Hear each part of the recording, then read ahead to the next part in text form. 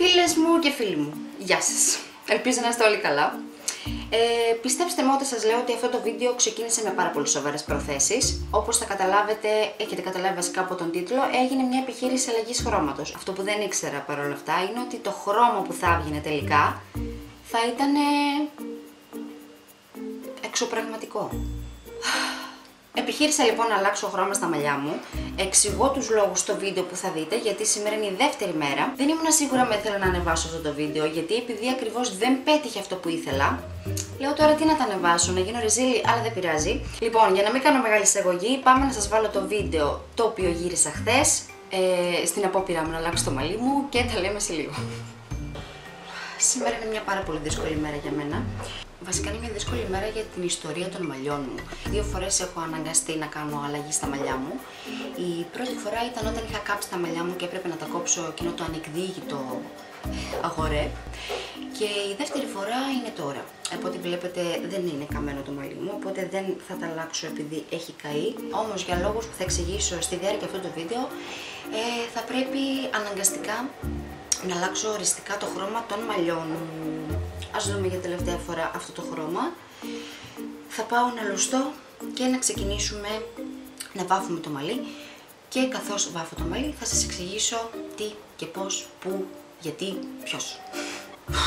Πάμε να ξεκινήσουμε. Έχω μπροστά μου δύο βαφές, τις οποίες παρήγγειλα από Νάγια. Ε, το Νάγια είναι ένα κατάστημα εδώ στη Θεσσαλονίκη το οποίο έχει Larissa Direction βαφές.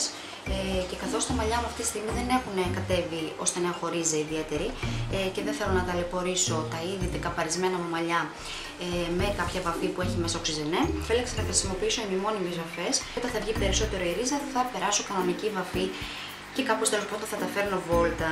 Το χρώμα που θα κάνω σήμερα είναι χάλκινο. Θα προσπαθήσω τουλάχιστον να βγει χάλκινο. Έχω λοιπόν την απόχρωση apricot, η οποία είναι μια πάρα πολύ πορτοκαλί από ό,τι βλέπετε. Και έχω και την απόχρωση tangerine, η οποία φαίνεται αρκετά κόκκινη. Παρ' όλα αυτά, όταν θα αναμειχθεί με το conditioner, θα ανοίξει χρωματικά. Επίσης, άμα ακούτε το πλυντήριο, συγγνώμη. Επειδή ξέρω ότι θα ξεθοριάσει πάρα πολύ εύκολα, οτιδήποτε βάλεις βασικά πάνω στο ξανθό μαλλί, ε, πέρα από ξανθό, ε, θα ξε, ξεθροριάζει πάρα πολύ εύκολα, οπότε δεν φοβάμαι. Καθώς λοιπόν εγώ τώρα ξεκινάω να βάφω το μαλλί, θα σας εξηγήσω για ποιο λόγο βάφω το μαλλί μου. Θα ξεκινήσω λέγοντας ότι το χρώμα που έχω στα μαλλιά μου το κάνω μόνη μου. Είμαι πλήρως εξοικειωμένη με τις βαφές, ξέρω τι αντέχει το μαλλί μου, τι δεν αντέχει το μαλλί μου και γενικά ε, δεν είχα ποτέ πρόβλημα στο να φτιάξω αυτό το χρώμα. Παίρνω συγκεκριμένες βαφέ, ξέρω ότι μου ταιριάζει και γενικά έχω τεστάρει πάρα πολλές φορές τα προϊόντα που έχω βάλει στα μαλλιά μου είναι εγγύηση για μένα. Τέλος πάντων, όλα ξεκίνησαν πριν από περίπου ένα τρίμηνο, αν δεν κάνω λάθος, ε, όπου κανονικά έρχεται η στιγμή να βάψω τα μαλλιά μου, να κάνω τη ρίζα μου. Περίπου στα μισά του χρόνου που αφήνω εγώ συνήθως τη βαφή στα μαλλιά μου, ε, παρατηρώ ότι αρχίζω και κοκκινίζω, αρχίζω και πεθαίνω μια δυσφορία, ένα πρίξιμο, μια κοκκινίλα και πάω στο καθρέφτη και ξαφνικά βλέπω ότι έχω κατακοκκινήσει. Αγχώθηκα πάρα πολύ, λέω τι συμβαίνει και τα λοιπά και αποφάσισα να πάρω ένα αντισταμινικό. Από τα συμπερζόμενα νομίζω ότι καταλαβαίνετε ότι έπαθα αλλεργία. Επικοινωνώ εκείνο το διάστημα με δύο-τρεις κομμωτές και προσπαθώ να καταλάβω τι μπορεί να έχει παιχτεί. Καθώ λοιπόν δεν δοκίμασα κάποιο καινούριο προϊόν, δηλαδή δεν ήταν ότι είχα μια γνωστή εταιρεία στα χέρια μου, γενικά κάτι το οποίο δεν είχα ξαναβάλει στα μαλλιά μου, δεν μπορούσα να καταλάβω τι μπορεί να πυροδότησε την αλλεργία. Ε, σκέφτηκα πως ίσως επειδή τα είχα καιρό τα προϊόντα, ε, ίσως ρε παιδί μου είχε λήξει κάτι, δεν ξέρω, σκέφτηκα πάρα πολλά. Ε, και οι δύο κομμωτές μου είπαν ότι κατά πάσα πιθανότητα είναι ορμονικό το θέμα, καθώς μετά την εγκυμοσύνη αλλάζουν πάρα πολλά πράγματα. Και μάλιστα ο ένας από του δύο κομμωτές μου είπε ότι η γυναίκα του έπαθε το ίδιο πράγμα με βαφή ε, λίγο μετά την εγκυμοσύνη της. Ενώ να τονίσω ότι όταν γέννησα και μετά δεν είχα κάποιο πρόβλημα. Το πρόβλημα με εμφανίστηκε μήνες μετά ε, τη γέννα μου. Καθώς λοιπόν είπα στον άλλο κομμωτή τι χρησιμοποίησε στα μαλλιά μου, μου είπε ότι καλό είναι την επόμενη φορά να δοκιμάσω καλύτερης ποιότητας προϊόντα. Ε, γιατί παίζει να ήταν τα προϊόντα τα οποία ε, τελικά μου έκαναν τη ζημιά. Καλά καλά. Έρχεται ο επόμενος λοιπόν μήνας ε, και πηγαίνω και αγοράζω πολύ πιο ακριβά προϊόντα.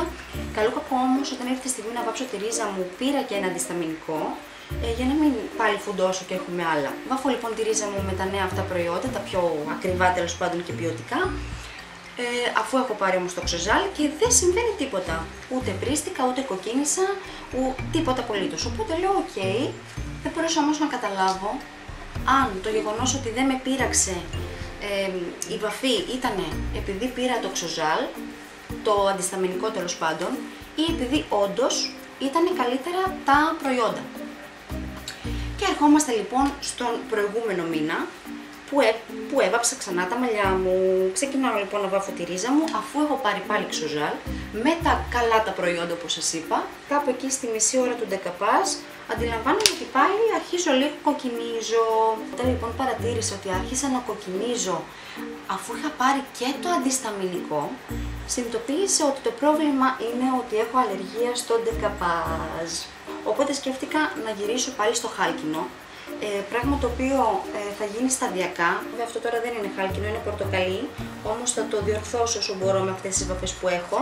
Δεν ήθελα λοιπόν να επιβαρύνω κι άλλο τα μαλλιά μου, οπότε γι' αυτό επέλεξα αυτές τις βαφές οι οποίες είναι ημιμόνιμες. Κάπου σε αυτό το σημείο άρχισα να συνειδητοποιώ ότι δεν θα πάνε τα πράγματα όπως θέλω, αλλά είχα μια ελπίδα ότι μπορώ να το διορθώσω. Έβλεπα ότι η βαφή βγαίνει πάρα πολύ πορτοκαλί, βγαίνει σαν το βερίκοκο. Ε, Προφανώς δεν θέλει κανένας να έχει χρώμα βερίκοκου. Εγώ ήθελα να έχω με ένα έντονο χάλκινο χρώμα, αλλά να μην είναι πορτοκαλί ή βερικοκή. Ε, και σε εκείνο το σημείο βρήκα μια άλλη βαφή, μια κόκκινη βαφή και έβαλα και από αυτήν για να μπορέσω να κατεβάσω λίγο αυτό το έντονο πορτοκαλί.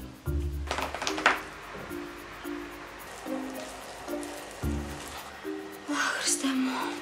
Θα τα αφήσω περίπου μια ωρίτσα να καθίσει λίγο η βαφή και να στεγνώσω λίγο το κοντίστινο το οποίο είναι υπερβολικό. Ε, και θα επιστρέψω να δούμε το αποτέλεσμα. Δεν μπορούσα να πιστέψω πόσο κόκκινο βγήκε.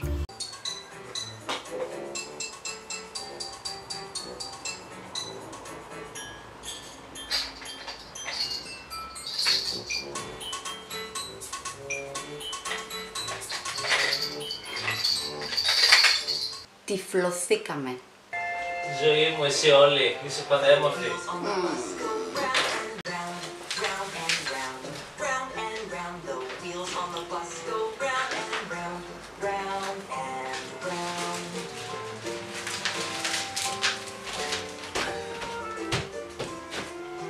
Έχεις και αυτό εδώ. Έχεις και αυτό εδώ. Ήταν πιο κόκκινο και από τα αυγά. Επειδή λοιπόν καταλαβαίνεις ότι δεν μπορούσα να κυκλοφορώ σαν τον ερυθρό σταυρό, αποφάσισα ότι δεν μπορώ να μείνω ούτε δευτερόλεπτο με αυτό το χρώμα και αφού λοιπόν έκλεισα το βίντεο το συγκεκριμένο, ε, πήγα στο μπάνιο και ξαναέλουσα τα μαλλιά μου. Αφού λοιπόν έβαλα 3-4 φορές σαμπουάν ξανά και ξανά και ξανά, βγήκε αυτό το χρώμα. Ξε, ξεθόριασε δηλαδή κάπως.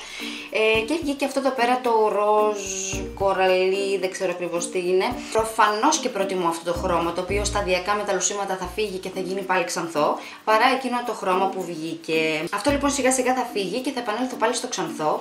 Και αν με ρωτάτε τι σκοπεύω να κάνω, γιατί το πρόβλημα εξακολουθεί να υπάρχει, δεν ξέρω λοιπόν τι θα κάνω, παρόλα αυτά να ξέρω ότι θα σα κρατώ ενήμερους και τέλος πάντων, αν έχετε καμιά ιδέα ή είστε του επαγγέλματος τέλος πάντων, μπορείτε να μου γράψετε κάτω στα σχόλια. Το καλό είναι ότι δεν προκάλεσε κάποια ζημιά στο μαλλί μου παρά μόνο η ταλαιπωρία που όλη την ημέρα χθες ασχολιόμουν ε, τρίβοντας το κεφάλι μου για να βγει όσο περισσότερη κόκκινη ποσότητα ε, μπορούσε.